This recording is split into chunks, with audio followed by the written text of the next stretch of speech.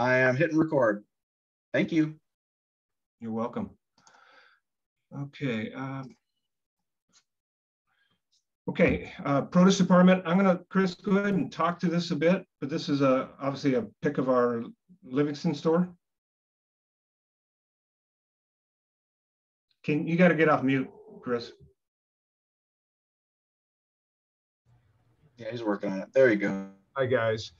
Uh, Bill, do you want to focus on produce or kind of the concept itself, how it started and, and, and what we've done with it thus far? Yeah, let's do that. Uh, but I want everybody in the association to understand the freshness and the fullness of the product that we, we will be supplying.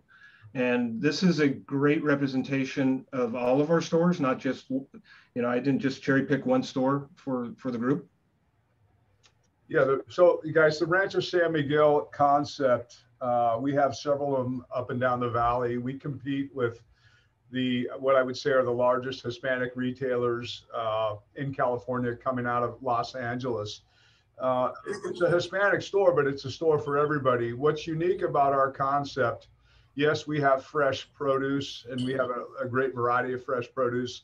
We have a service meat counter. We have a salsa bar with uh, ceviche uh, and fresh uh, salsas. We have a uh, panaderia uh, with with fresh scratch uh, bakery items, but but really the the other unique thing and the reason one of the other reasons we've been highly successful is we run more of a EDLP operation. We, we our, our our our parent company is a Food for Less, which was a price impact store. Rancho San Miguel will be very competitive in pricing, where historically uh, or traditionally a lot of the uh, Hispanic driven uh, retailers are not as uh, center store driven on being competitive competitive on everyday groceries. Any any questions, guys? Yes. Please. Um, uh, can you peel the, can you um, just peel the layers back a little bit and talk um, in depth a little bit about sourcing? Where's the product coming from? Who are your suppliers and what's their makeup of those suppliers? Sure. sure. So UNFI is our primary produce supplier. We source locally, we source regionally, and we source uh, as many re- retailers do out of country when necessary.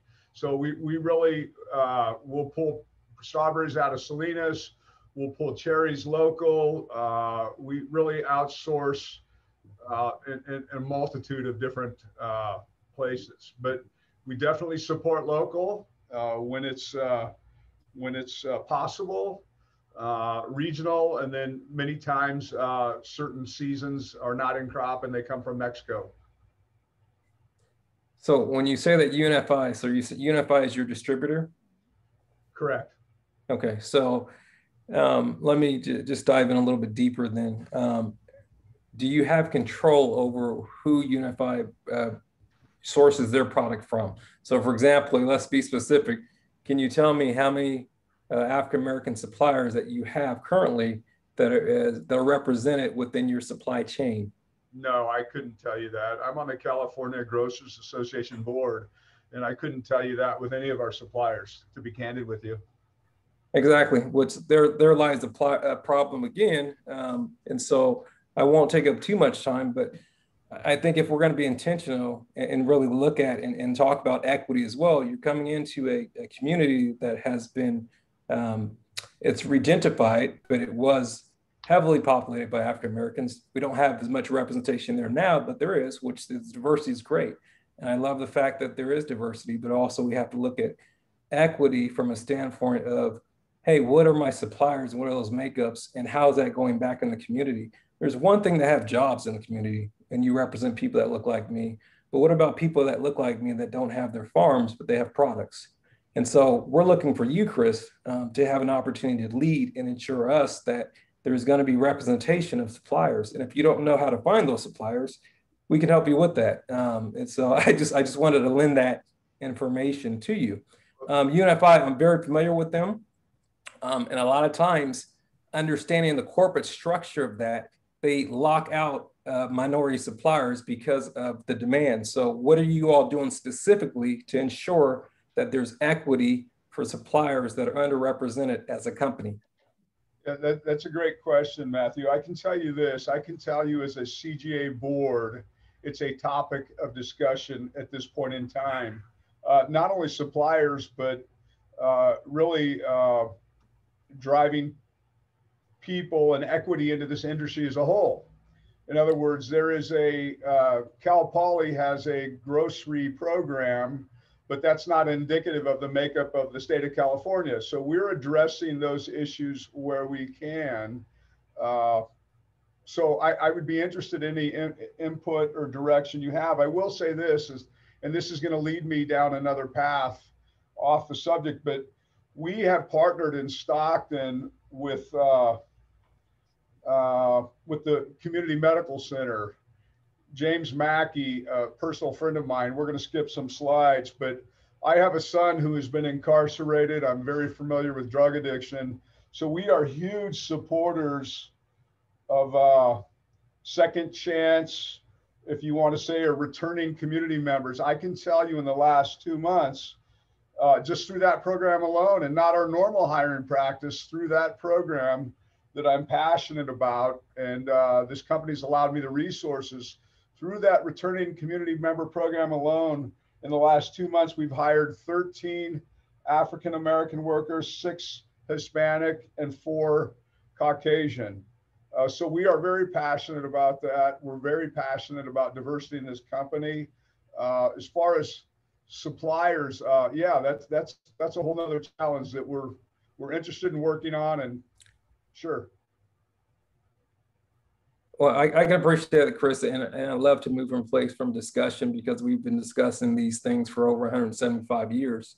And uh, it always seems to be ending in discussions. And when I ask a question, it's, it's, it's, it's, I love the fact that we can always, you know, talk about, you know, the, the individuals that we are representing that we're helping with jobs. But again, if we're going to talk about equity, we really have to hone that in and look for ways and partners and collaborations so that we can make sure that there is equity in that. Um, I don't, I, I mean, I, I, love the fact that this concept is coming, but nothing is worse than a concept that comes in and there's no representation of, of the community. Um, and that's product standpoint, you know? And so again, you have a, a, a, grocery store, which I understand grocery stores are, you know, difficult and, and it's a franchise, right? So I get that there's cons- things that are consistent. And so it makes it easy for UNFI to come in as distributor, but I need you all to work harder as a team to find uh, the workarounds to ensure that we can have representation and equity as soon as that store opens. And I'm not sure if maybe it's carving out a space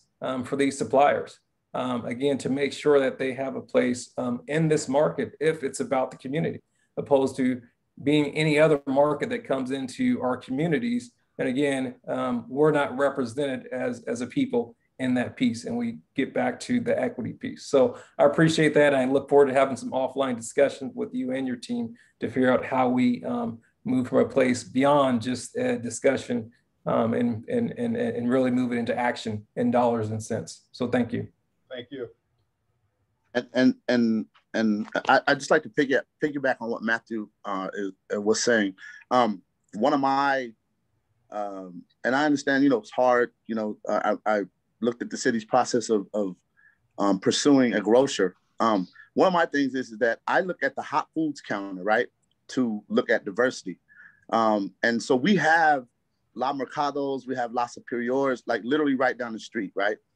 And now we're opening up another uh, Hispanic themed store. And so, again, you know, I understand, you know, how the grocery uh, uh, business works and whatever, but do you have any flexibility to allow uh, local chefs, uh, uh Black African American chefs, to come in and maybe have a piece of the hot foods counter so we can get a diversity of, of foods that will be served inside the store. You know, I'll, I'll, I'll let Bill, I, I will talk to you right now. OC and uh, Wilson and I were talking earlier. We're, we're, we're already challenged with the square footage footage provided to us in that specific location in the kitchen. Our concern right now at this point is is is is really we're trying to stretch the store to make sure we have room to have a big enough kitchen to serve the needs of the community. Uh, I'll let Bill, Bill trumps me, but I don't know how, when we already don't have enough space to operate the kitchen the way we would like, we would allocate space for an independent operator operate in the store. Yeah, I'll jump in on that. Um, I think that was Jonathan, right? If I had my name writing down right. Uh, Jonathan, I guess I'm, I'm interested to listen and understand more what concept you're trying to, to do there. Uh, we did desire to have our hot foods match the neighborhood. Certainly Rancho San Miguel is a Hispanic format, but we, we do know that um, these my numbers, I could have this wrong. I think 26% of the population is African American. And so we did think there would be a, a tailoring of our food offerings uh, in, in that fashion. So, but bringing in an independent to, uh, to have space in our store uh, could be difficult, but uh, keep an open mind right now. Would you be open to um, uh, uh, utilization of the parking lot? So, say you know, food truck, something like that. We have to understand understand what our parking needs are, how full the parking lot is. I mean, Bill, I'll let you again comment on that. Yeah, it's it's small, and and I think you guys know there's a couple other uh, businesses that also utilize that parking lot. Um, how, you know, how much space? What are we talking? Uh, time of day, time of week, all that kind of stuff comes into play. So um, I'm not here to say no. I'm here to to listen and understand. And so uh, I'll leave it there. I think for now.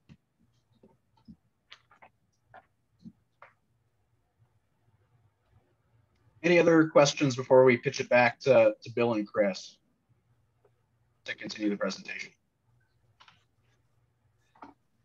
Okay, so uh, if there is none other, let me finish out this slide and then I'll go back a couple. So one of the things we did want to reiterate, and this is the commitment we had made to the city of Sacramento, that we uh, have a hiring goal of 75% of our hire needs uh, will come from those four zip codes that were identified as the city told us as the project area. This is not so unusual for us. We normally hire from the communities that we serve. Uh, it certainly is an objective of ours, and we're serious about that. But I did want to make that recommitment to uh, this association tonight. There's no questions on that. i have got a couple slides on the ESOP, but let me pause for a minute. Okay. So the company became an ESOP in November of 2019. Our founders sold the company to their employees. In total, the employee count is around 1,800. And so as of 2020, excuse me, 2019 and 2020, we have approximately 1,100 employees that have become what we call participants or employee owners of the company. And so they are beneficial owners of the company. We already talked about the Rancho San Miguel format. I uh, did want to note that we do also have a food for less format, which is a price impact, and it's a franchise store. So we have 16 of those stores north of Bakersfield and up through uh, Sacramento. The Rio Linda is our furthest north store that we uh, just recently opened up last year. Uh, an ESOP, which is an employee stock ownership plan, is a retirement plan and all of how an ESOP is operated is regulated by the IRS. So for example, to become a participant in the ESOP, there's a minimum age of 21 years of age. There's a minimum of 1,000 hours that need to be worked each year. Um, and then you need to still stay with the company as of 1231, which is the end of every plan year. So those are really the simple three items that would entitle an employee to become an employee owner or a participant. They become a participant by getting allocated shares and the shares are allocated based on two factors. One is years of service with the ESOP, and the second being their W 2 wages. So the more hours they work, the more they advance themselves up through the organization, the more their W 2 wages will be. Uh, the longer they stay with the company, the larger their proportionate allocation will be overall. Shares are being allocated out over 35 years. So as of right now, we've had two 35ths of the shares allocated out to those, in, those employees, those roughly 1,100 em, employees. Share value grows over time, which is obviously a, the, the purpose of a retirement plan. And that is by IRS design to be there to build up so that when individuals look to retire, they would have a, a retirement balance in place there to, to help them to, to retire out. It takes six years for an employee to fully vest in the shares that they are being allocated. The first year, there's no vesting. The second year is 20%. Each subsequent year to the sixth year is another 20%. So if you stay six years, then you'll have 100% vesting in place. The ESOP is a trust and is managed by a trustee. He's an independent individual for which the company uh, has to pay his fees. The trustee independently values those shares each year, and that is the basis for the share value for the employee owner's value and for their retirement amounts. And then uh, I did want to note that the company has five board members. My, I am one of the board members. The two of the selling shareholders are the other two. But as required by ESOP rules and the trustee, we have two independent board members, a grocery industry expert and an ESOP expert. And so with that, that was what I had planned to speak to, but I'll take questions uh, from anybody.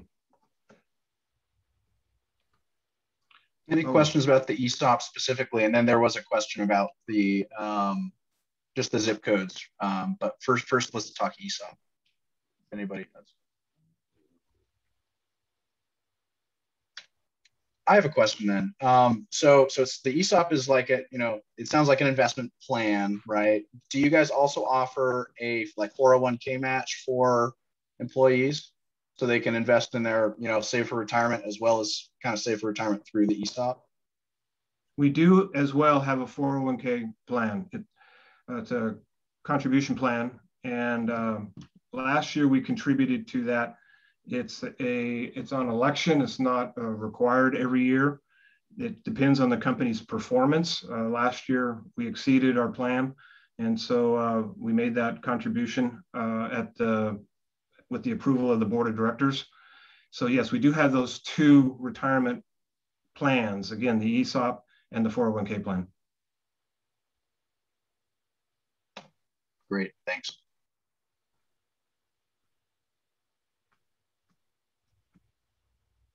Okay, then I think, um, Adrian, we had a request to have uh, one of our participants speak from in this case, her perspective. And that's why we have OC Johnson with us, uh, longtime employee, so has the perspective of prior company and then the, the last two years roughly uh, as an ESOP entity. I'll let her speak uh, herself.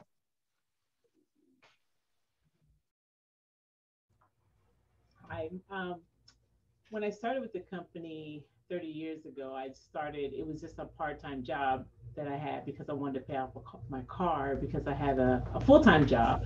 So it was a really good company. You can move up. Um, everyone was nice. And I've been here 30 years and there's a lot of uh, growth in the company. It's a very good company to work for. I tell everyone that, you know, of course, it has its ups and downs like everything else, but it is a very good company to work for. I wouldn't have been here 30 years plus if it wasn't.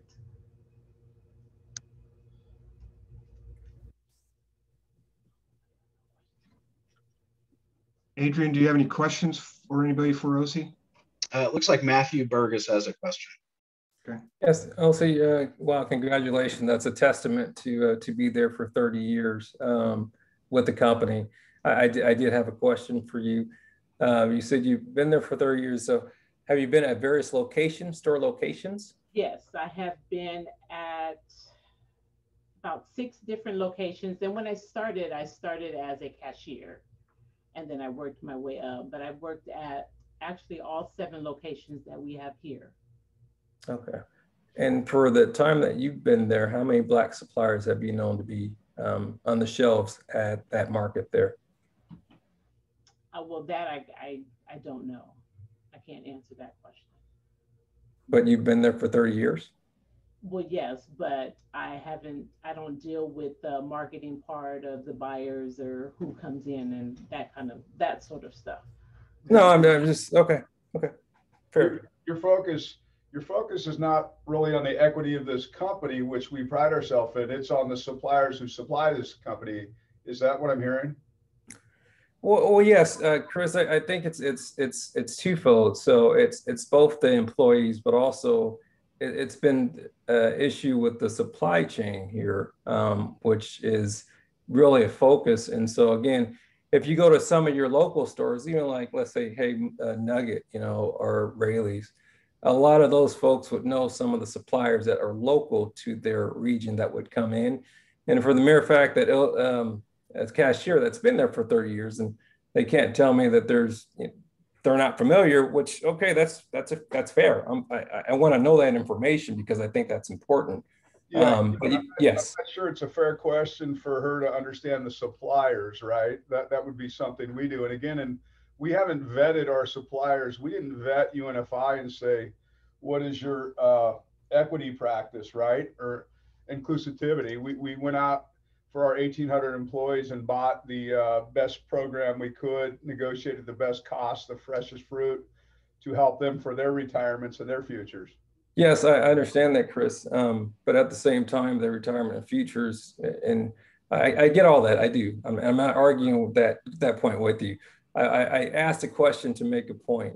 Um, as a, a 30 year employee of a company, you know, that prides itself in equity, I find it alarming that, you know, as a cashier, you wouldn't have known or seen a supplier, even a local supplier that come in your store, or you wouldn't know of that product.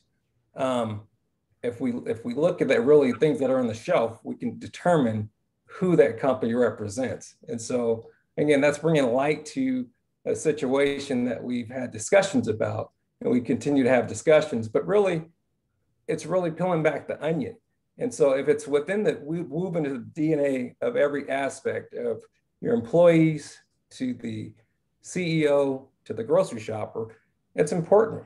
It is.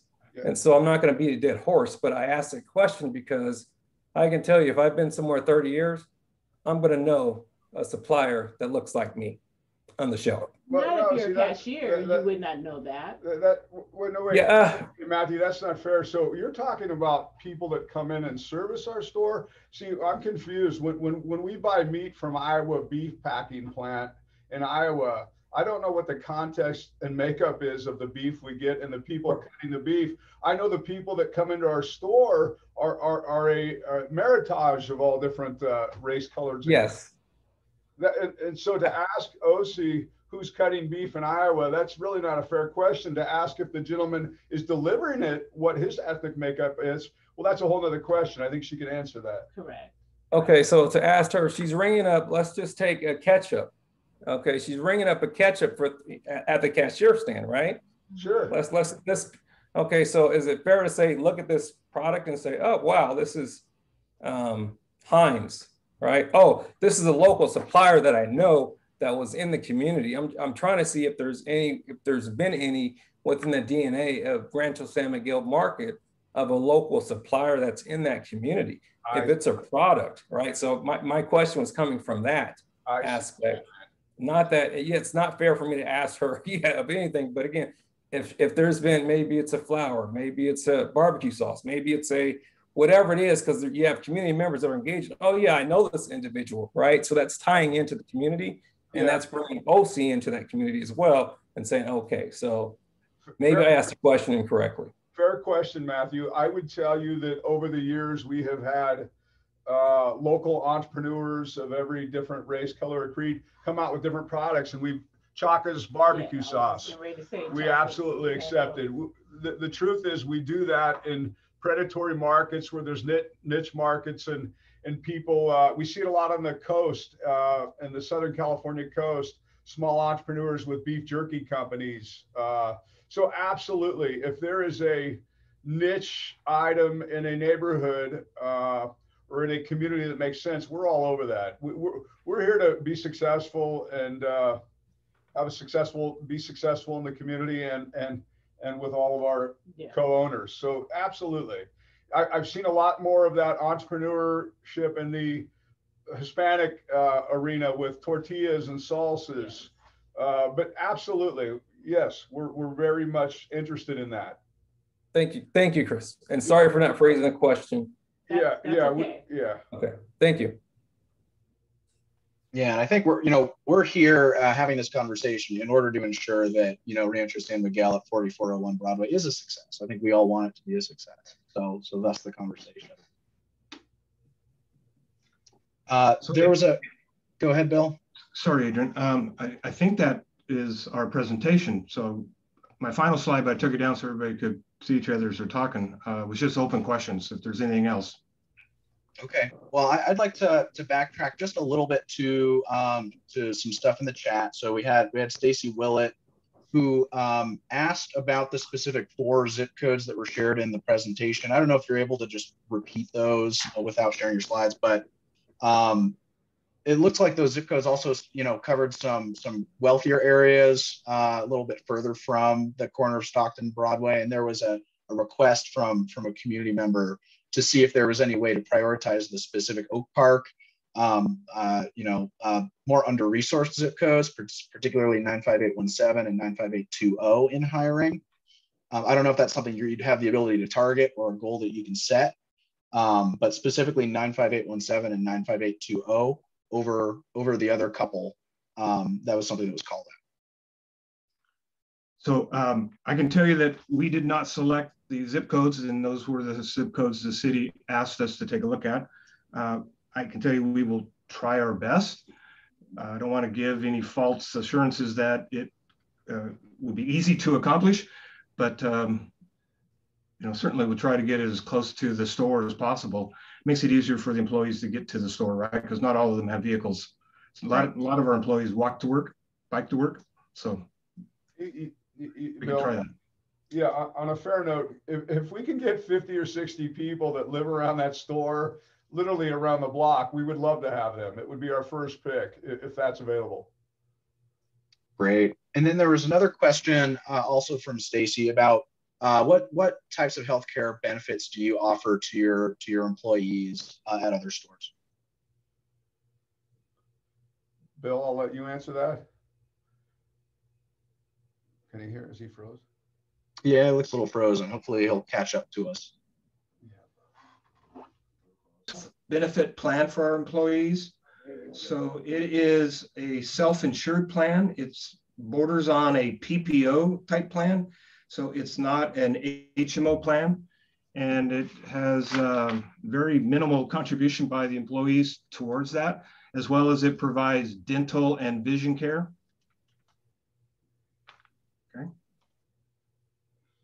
And then there was a, a question just from Jennifer Wood, and, and I think this was previously discussed, but um, is your produce department equipped to source locally grown produce?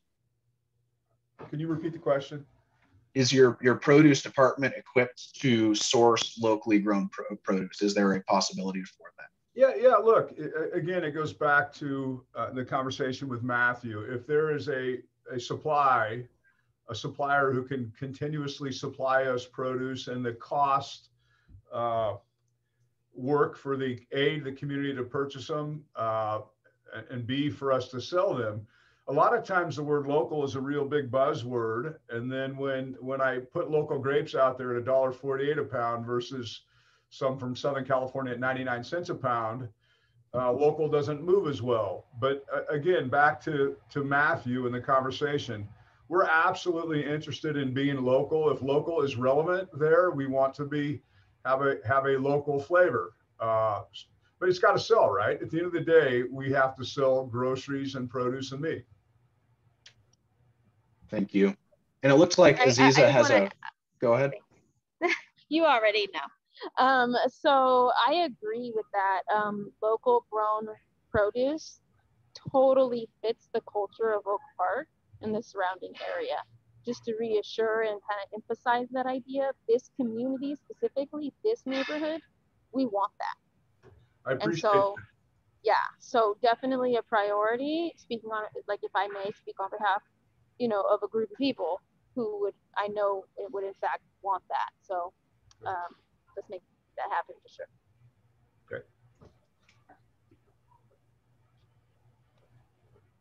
Any other questions? I know Matt, Matthew Burgess uh, uh, turned his video back on, so he probably has a question, but I want to make sure others who haven't had a chance to speak yet have a have the opportunity to elevate elevate specific things.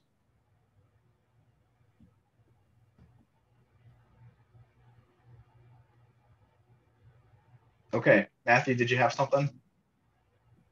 I, I won't take the floor. I'll let somebody else ask a question. I'm probably tired of being asked a question, so I'll let somebody else speak. Yeah. Well, I, I asked and, and I didn't hear anything. Maybe maybe it's something I'll, I'll throw out there is that so the Oak Park Neighborhood Association we we supported the so the city um, and maybe I- don't know if, if Bill or someone could could speak to just the the city of Sacramento loan that was approved on April 6th to rehab the building. Um, uh, could, could someone maybe start with that and then I'll I'll add some context. Sure. Um, to be candid with you, we did not know about that until late in the process. So when I started negotiating with the landlord last summer for that location, um, one of the requirements we had as part of making the deal work for us um, was getting some tenant improvements because we've got to go in and convert it from the food source to a rancho with a kitchen and a bakery, right? Scratch bakery, all the, the things that we showed you on the slides. Um, so we required a million one uh, tenant improvement allocation. That then evidently came out through the city with the bond, and we're supportive of that. I'm glad that was able to be the source of the financing or funding for the landlord. But um, it is to go directly into the store. It, it, we've got a bunch of work to be done. We're just now coming out of plan check, and we think the store will be opened up towards middle to late October at this point in time. Um, so I don't know what else you need me to speak to about that, but uh, that's what we know about it. No, I think I think that context is helpful. Um, and and we submitted so the Oak Park Neighborhood Association supported that that financing uh, for to rehab the building in, in order to enable um, a grocery a grocer to move in and in order to enable uh, Oak Park to not no longer be a food desert. So we were supportive of that, and I did uh, uh, upload the letter that we sent to City Council on the topic um, in the chat just now. And so just wanted to call to attention a couple of the things that so we, we had some ideas uh, in there um, uh, with respect to some of the some of the items that we've talked about. Um, we did talk about consistent hiring of residents from 95817 and 95820, which we previously talked about. We did talk about square footage, you know, dedicated to fresh produce. One of the, the items that, that we called out in our letter that again is in the chat was having a cold prepared meals in addition to hot prepared meals. The the the um, the reasoning there is that uh, for EBT, that's really important because there's a, for, for particularly low income folks, there's a differentiation in their EBT between hot food and, and, and groceries slash cold food, and it allows them more access to prepared meals. So is that something that you're, you're able to do uh, to allow cold, cold meals uh, and to have that EBT differentiation? So I'm going to punt that to uh, Chris. I Yeah, you yeah. to that. Yeah, so uh, again, we're, we're tight in that area and, and I'm not sure with respect to the EBT and, and the, the food. Uh, are you guys, we're part of a pilot program right now that I think is coming in Sacramento with EBT with respect to hot food. Are you familiar with it? I have not, but I think we, you know, we have some folks from the Sacramento Food Policy Council on. I'll, um, maybe they can add something, but please continue. So we currently are with Merced and we're filling out applications for EBT on a uh, select menu on the hot foods. That's not dismissing the cold food conversation, but we think that's going to be uh, a, really good program. Uh, so we have filled out the applications. We're moving forward on that. And I did see that it's, uh, and I don't know what particular region in Sacramento, that Sacramento is on the list, and maybe I can stand corrected. Uh, with respect to uh, the cold food, absolutely. We want to accommodate. We understand uh, EBT. Uh, we're very EBT friendly, and and uh, we understand the dyma- dynamics of the neighborhood. And uh, absolutely,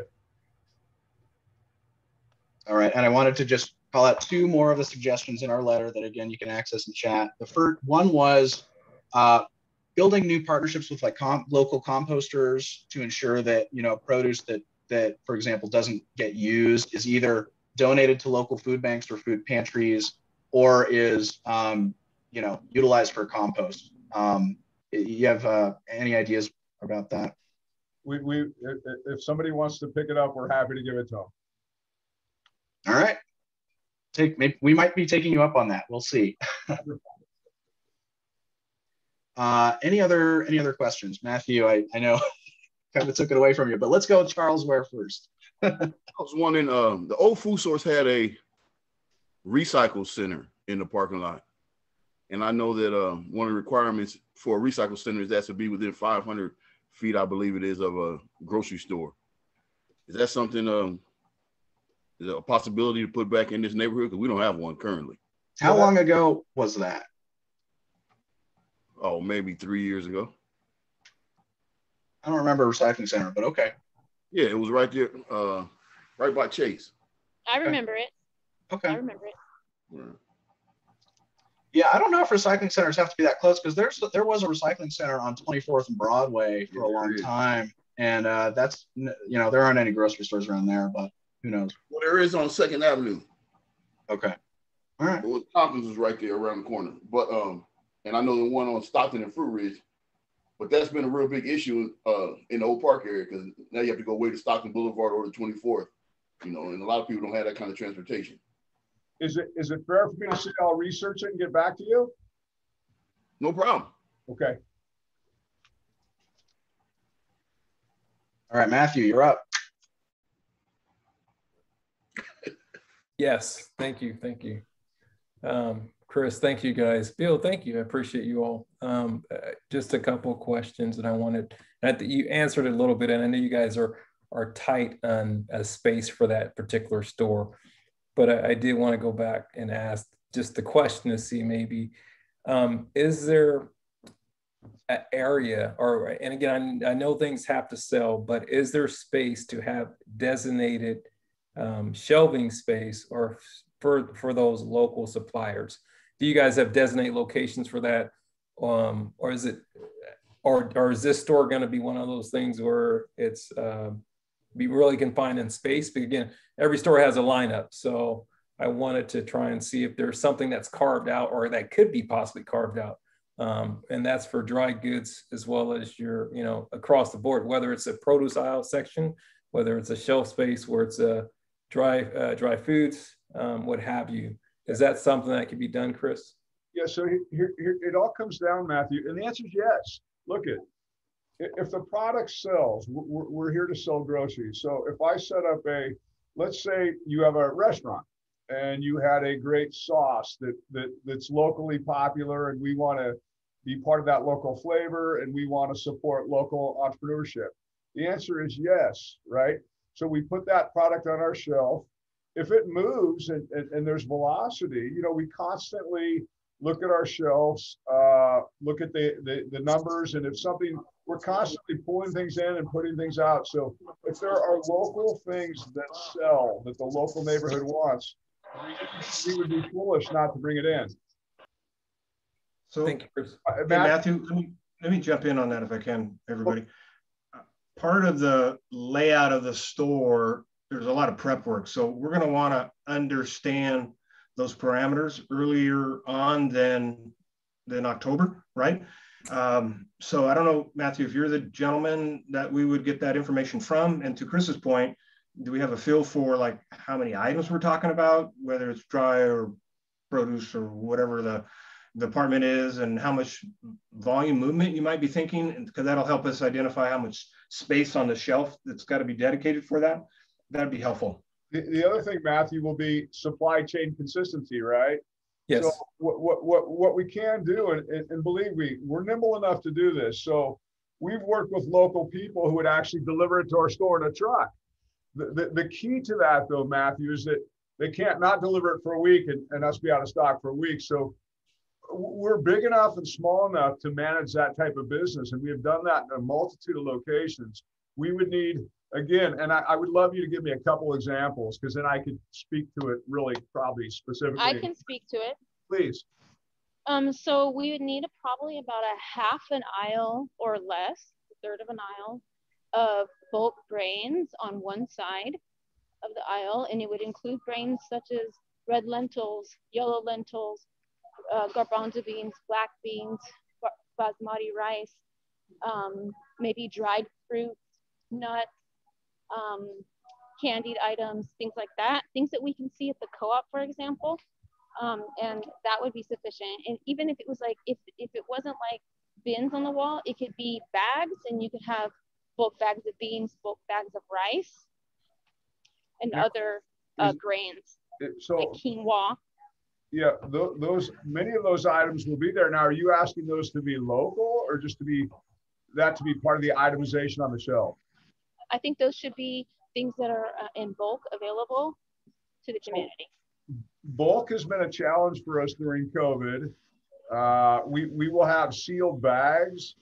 Uh, the ranchers are not big bulk users. And, and, and to be honest with you, uh, unless it's a gravity fed bulk bin, uh, we've kind of gotten away from bulk during COVID with people putting their hands in there and that stuff. Uh, right. So even a, even bags would be cool. We, we, we will have bags of, of many of those things. And as look at if we get it wrong when we get there, and and believe me, we're going to try do everything to get it right. But we have uh, customer request forms and comment cards at every checkout. So if we didn't have, for example, lentils, and and and somebody's requesting it, and we get a couple requests, in all likelihood, we're going to get lentil in there. Uh, but that that that's part of our itemization. I, I, I guess I was talking. I, thought Matthew and I were talking more about local, the local flavor and specific things. Right, and yeah, and just to speak to that, um, Chris, I, I, and I was I was talking about more of a lot of you know a lot of our local uh, suppliers are we're talking about uh, uh, sauces, hot sauces, barbecue sauces. We're talking about um, packaged meat products. We're talking um, spices of, of, those nature, which are more of the, I guess, condiments. And um, in, in, addition to, you know, we have our local beers as well. Um, and so that's something that's huge in a niche market here locally um, and looking at that. I, I would love for actually to sit down and talk, maybe one day have a cup of coffee and you can educate me on a serious note on some of the local flavor because we want to uh, do it where it makes sense and yet in all candor we have some a lack of understanding uh, to the extent that you guys do of what is local. Yes absolutely. Okay. That's fair. I think locals within 100 miles. Well um so uh, again lo- i mean local that's the standard. well uh, first of all we'll, we'll, yeah. I'm not going to split hairs over what local is because again, when we talk about 100 miles and all that stuff, you're you're accenting a, a lot of people out. Um, I'm not going to get into the history of us not owning our farmers anymore. Um, so when people say this farm to fork, fork 100 miles, well, it excludes people like me because our farms were taken. So now we fall into the category of suppliers. Right, um, right. I'm a huge advocate because we've made it, but I need to help other people, and we made it um, unconventionally, right? And so I'm about the community, I'm about solutions, and I'm the one here to help you all so that we can be successful, we can have the equity, we can be exclusive. Um, and I, I, am California. I mean, my great great grandfather was brought here as a slave. We had farmland, so I know it. Um, I look forward to the conversation, Chris. Thank you, sir.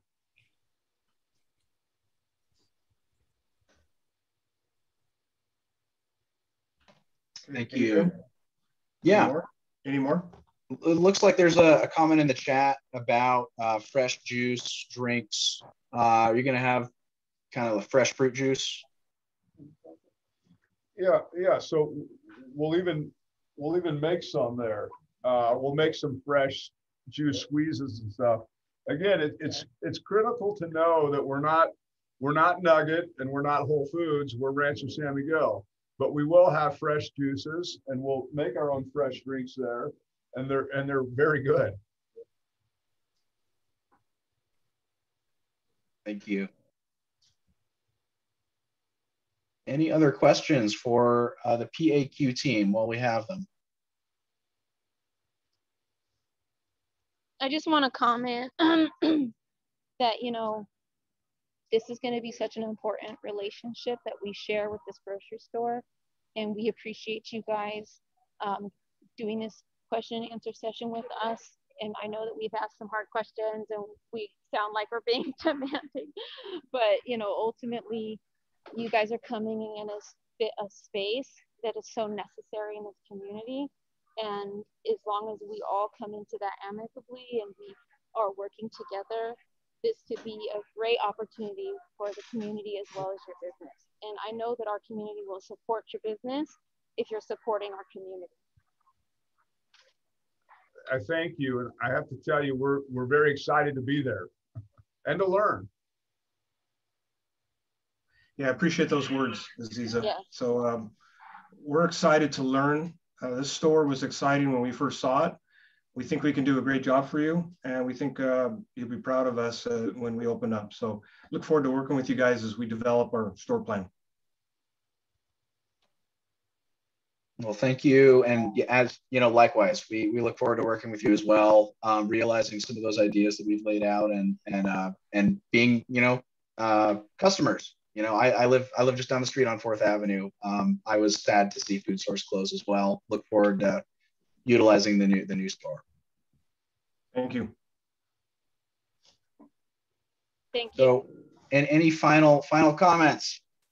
Adrian, if, you liked Food Source, you're really going to like Rancho San Miguel. Great. Glad to hear it. Thank you. All right, folks. Well, hey, thank you so much. Feel free to stay on. We're, we're just going to go into some some other neighborhood announcements and conversation, but uh, you're more than welcome to, to, to continue to hang out with us. Thank you. Yeah. Thank you. Okay, folks. Well, uh, again, that was kind of the, the highlight for for today. Um, do do folks have specific announcements that they'd like to share? Uh, anything going on in the neighborhood? Um, I have a couple of things, but want to want to open it up first. Well, I might actually call on Aziza um, to talk about. Aziza, are you available to uh, talk a little bit about Oak Park Cares, the new program that we launched recently? Sure. Well, I'm in the check stand buying my fruit. Oh. uh, so basically, um, Oak Park Cares is a shining light. It's an incredible um, project we're working on that we're really proud of. Um, we get to help our community in ways that matter. Uh, so we are basically have set up a committee within our board of the Oak Park Neighborhood Association. And um, some, of our, some of our sitting members, uh, board members will be on that committee and hopefully, you know, we'll talk about maybe bringing in some community um, voices on that committee. Uh, overall, the project basically is a pilot where we can you guys handle the thank you here's the card uh, the pilot is basically um, the community who has been hit by covid and has had been economic, economically impacted by the situation can apply on our link uh, to complete an application and be reviewed for um, funds to help them cover a bill uh, so they can um, complete that. We've already opened up. We've we probably have over 50 applications at this point, and we are actively accepting uh, new applicants and issuing funds to our community. So this is a great project. We're really excited. We need businesses in the community and other donors to contribute to the fund for this project. And um, anybody can apply. It's, it's supposed to be and designed to be low barrier. Um, yeah. Well, thank yeah. you, Aziza, for, for that overview. And folks can go to, um, I, I, pasted in the chat, Aziza, the, the link that folks can go to to access the application. You can also, mm-hmm. uh, as Aziza said, um, donate to the, to the program uh, via our OPNA's PayPal. You just go to oakparkna.com and there's a PayPal link right there. So we, we yeah, encourage you to, we... to share that. Adrian, I had a question. Yeah, what's up? Uh, can you give me some type of an example of what type of uh, uh, items or or what would be eligible for that? Yeah, so so any sort of like bill assistance is, is eligible. Folks just they need to be 18, they need to be um, an Oak Park resident. Um, again, the application has some some sort of stipulations. You know, we do want evidence that they are paying their bill with with the the money. Um, but it could be a SMUD bill, it could be rent, it could be a car payment, it could be a health, you know, it could be a hospital bill. Uh, any of those are eligible. All right. So say I have a elderly person who has trouble getting in and out of their house, and they need some like uh, handicap rails or something. I, I, I would say I, would absolutely say yes to that. What would, what would you say, Aziza? Um, I didn't catch it, but um, other items like um, even putting up Aziza, putting up handrails, putting up handrails, uh, a disabled person actually putting safety infrastructure into their home. Oh, I see, I see. Mm-hmm. Well, that can be discussed within the um, commission that's going to be looking over all the applications. But I think that we're, you know, we got even applications for um, hotel stays, some of our unhoused neighbors. Yeah. Right. So it's going to be a case by case basis uh, very much personal, come, contacting the person, hearing them out, doing a, um, a, a, review with each individual person. So, I mean, if our board decides we want to do handrails for handicap, that we can do that. Uh, yeah, and I would we, add we, we, would have we would have to vote on it. Yeah, I would add that you know a person in you know if a person wants to put handrails or needs to put handrails into their home, they probably have bills to pay. They probably have rent. They probably have other other items. So apply. You know, I, I'd encourage you know them to apply both. You know, from the lens of of the handrails uh, uh, that is needed, as well as you know just the SMUD. they also need Okay. Yeah. Hey Andy, you, you've unmuted yourself. Do you have a question? No, I'm sorry. Uh, so Charles, is that does that answer your question?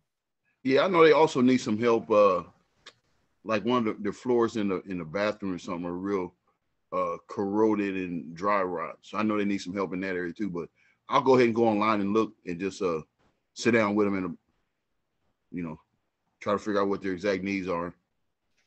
Yeah, well, and please share. Thank you for that question.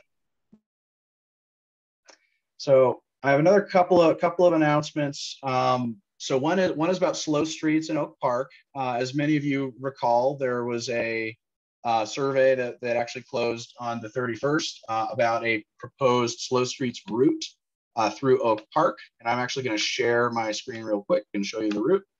Uh, it's right there. I'm actually maybe going to zoom in here so you can see it.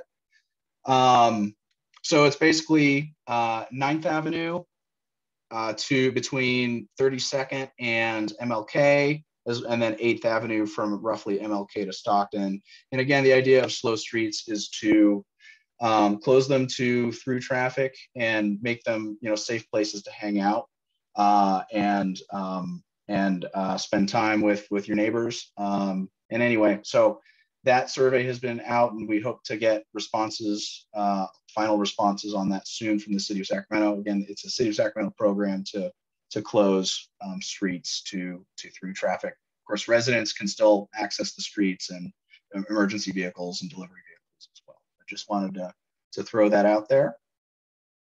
And then there's uh, another update I'm particularly excited about with respect to environmental justice. Um, so so I, I, work for a nonprofit called Valley Vision, and we're working with several other nonprofits to deploy air monitors around Oak Park in North Sacramento. Um, the, uh, the, the folks we're working with are, are Walk Sacramento, uh, Breathe California, and Green Tech Education, uh, all of whom have, have footprints in Oak Park to some extent.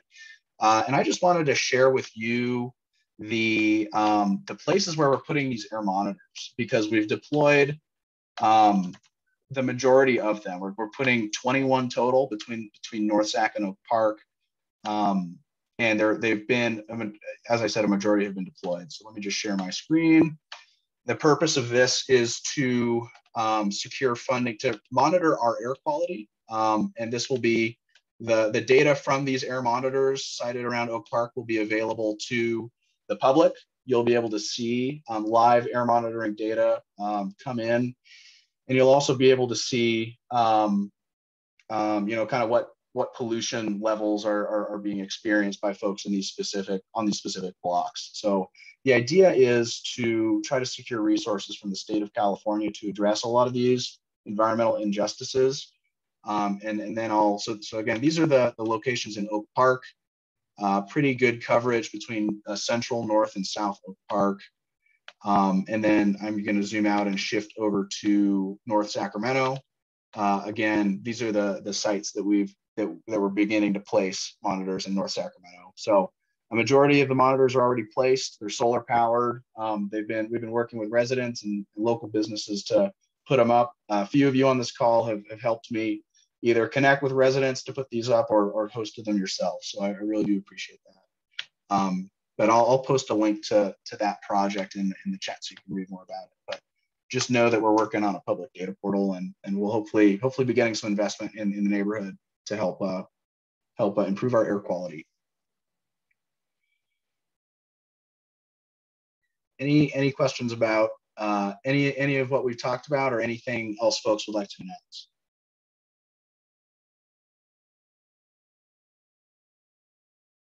Any any further thoughts on the the um, the Rancho San Miguel conversation earlier? Any anything folks would like to add?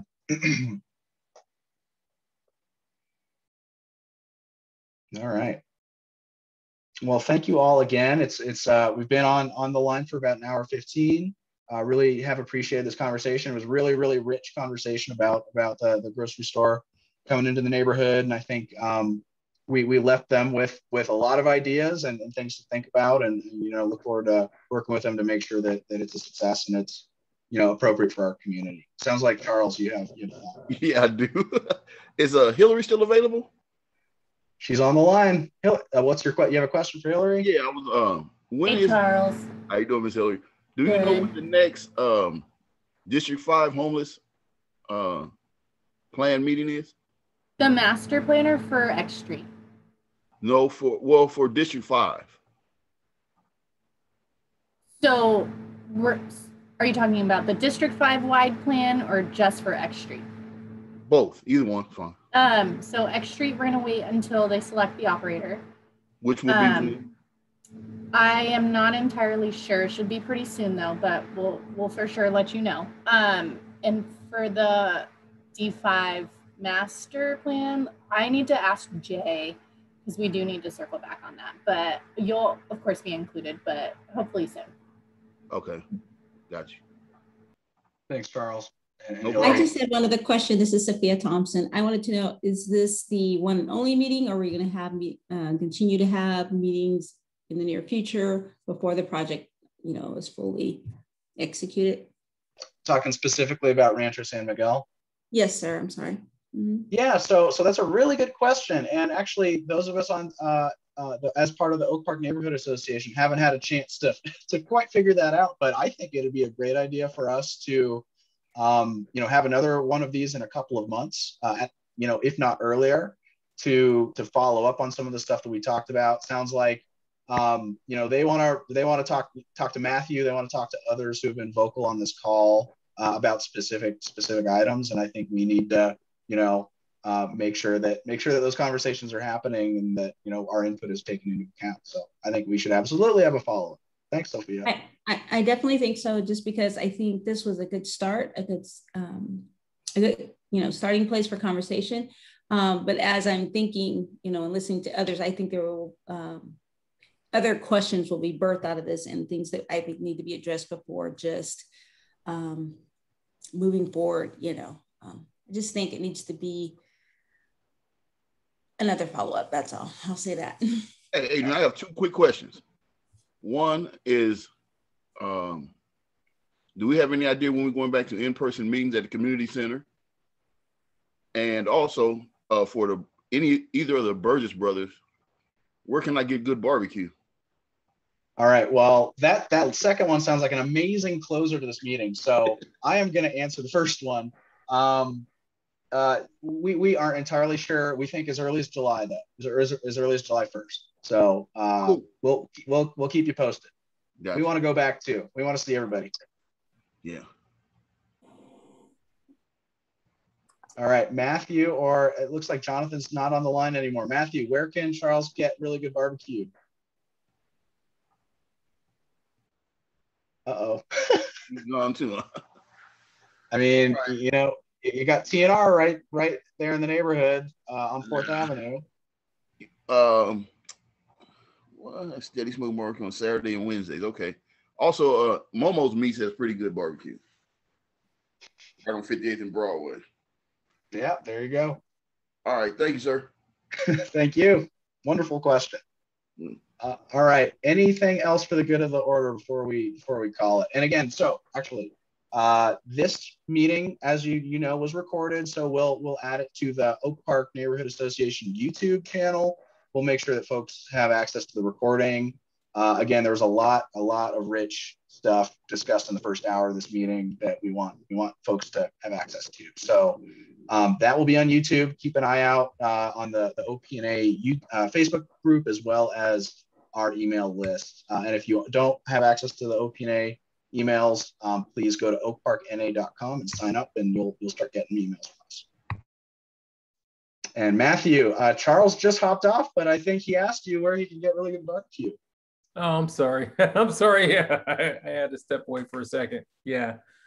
Um, no, there's uh let's see, you know, I know Renegade's doing some pop-ups, He'll, they'll be around. Um, and you know, TNR's right over there. Momo's is pretty good. Um, and uh Burgess Brothers will be going to Sac State's campus. So right on. It's exciting. Yeah. Did, did you have anything else to offer just on uh, takeaways from uh, our conversation today? Yeah, I just, you know, I want to thank you, Adrian, for, you know, having the space. Um, and really, I think really the, the takeaway is, is really that, you know, we, in looking at it all is, is really having something, it's great to have a grocery store, but what's going to make the store different? That's going to make it local, you know? And I think that's where we have to really go and just really um, hold them accountable and peel those layers back to say, yes. Um, and I'm happy that I was able to make the call because I understand it, I understand grocery, right? I've done it, I know the challenges. And so um, that's why I asked the questions I wanted to ask to, to kind of draw them out. But I look forward to, um, I'll, I'll, take Chris up on the call if you have his contact. So I'll reach out to him because I really do want to ensure that there's, there's, there's opportunity, right? For those that are local um, uh, within the supply chain. I mean, again, it, it, there's there's a lot of folks that could be represented, even if they had something that was rotating, um, you know, but something designated for that. So, yeah. Well, appreciate the appreciate your questions today, Matthew. I think it was really insightful and and it did, really did draw out some key, you know, just some key details about the operation. Um, and of course, you know, if, if we're not holding space for these conversations, we're not doing our jobs as a neighborhood association. So, quite frankly, so uh, glad you could make it, and you know, look forward to continued collaboration on this. Absolutely, absolutely. So, thank you very much. All right, folks. Well, with that, uh, let's call it. Again, you can find a recording on YouTube. Um, thanks again for taking part of your Thursday out um, to spend time with us, and enjoy the rest of your evening. All right, bye. Bye, Adrian. Thank you, everyone. Thank you. Bye.